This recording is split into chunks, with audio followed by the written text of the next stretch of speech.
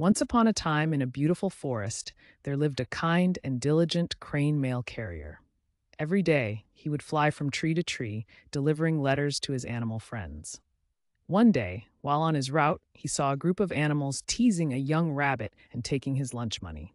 The crane mail carrier felt uneasy but chose to look the other way.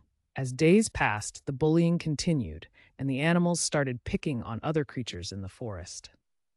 The crane mail carrier could no longer ignore the injustice and decided to take a stand.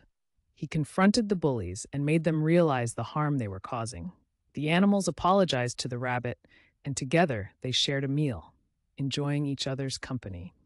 The crane mail carrier delivered a special letter to all the animals with a message that kindness is always the right choice. And from that day on, the forest was a harmonious and inclusive place where everyone was treated with respect and compassion.